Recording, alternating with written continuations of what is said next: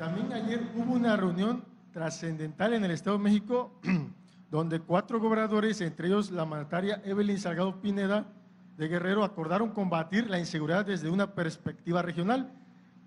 Eh, esto es por una cuestión de la inseguridad que se ha incrementado en los últimos días y mencionan que se requiere una coordinación entre estas regiones para, para afrontar la, la, inseguridad y habla, ah, eh, la pregunta es cómo apoyar a la federación a estos estados que enfrentan esta, pues, este flagelo de la inseguridad. Y hablando de Acapulco, la temporada vacacional eh, ya ve que fue diferente por el asunto del huracán Otis, se, pudo, se pudieron recuperar algunas habitaciones de hoteles, eh, estuvo lleno el puerto.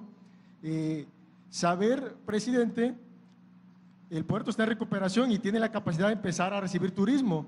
Y a pocos, a pocos meses del, del, huracán se tomó la decisión de, realizar la gala de, gala pirotecnia que pues atrajo turismo. ¿Qué más se realizará, señor presidente, para incentivar el turismo y que venga a Acapulco? Sobre todo porque viene el abierto mexicano de tenis, viene el tianguis turístico, todavía hay muchos hoteles que siguen en, en reconstrucción eh, saber si tendrá contemplado nuevos atractivos para el puerto y si se invitará a empresarios como Carlos Slim, José Antonio García, otros empresarios, para que sigan creyendo en este destino de playa y pues vuelva a ser eh, el de los mejores del mundo, señor presidente. Y nomás sería una última ya. Sí, este, yo creo que Evelyn puede eh, contestar mejor porque ella participó en la reunión a la que haces referencia en el Estado de México, ¿no?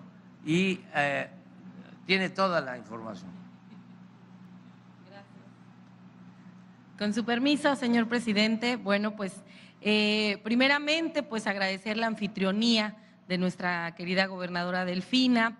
Estuvimos ahí en el Estado de México, estuvieron los gobernadores eh, de Michoacán, estuvo el gobernador de Morelos y bueno, pues también estuvimos ahí presentes. Acordamos eh, un centro eh, coordinador de operaciones interestatales para la región de la Tierra Caliente.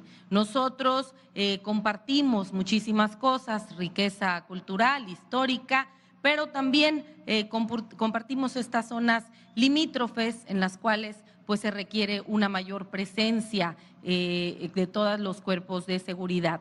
También pues delineamos cinco ejes operativos, fueron el blindaje contra la delincuencia organizada, la seguridad en nuestras eh, carreteras, eh, básicamente todo lo que colinda, eh, por ejemplo, en la región norte, tenemos colindancia con el estado de Morelos, en la región de la Tierra Caliente, con Michoacán, Michoacán con Estado de México. Entonces, pues delineamos estas estrategias el combate a la extorsión, por supuesto, vigilancia de la tala ilegal, también en algunos estados, y el fortalecimiento de las capacidades de comunicación e inteligencia. Estuvieron presentes los secretarios de Seguridad Pública, de estos cuatro estados, estuvieron presentes los fiscales, eh, generales, eh, almirantes y bueno, eh, CNI, en realidad estuvo pues todos los integrantes de las mesas de construcción de paz y pues la conclusión es en general la construcción precisamente de la paz con mayor inteligencia, con trabajo, pero sobre todo, lo más importante, tener coordinación. Y acordamos tener no nada más esa reunión y que se quedara nada más en un convenio firmado, sino que acordamos que sería una mesa permanente con una estrecha comunicación y coordinación en los estados vecinos. Gracias.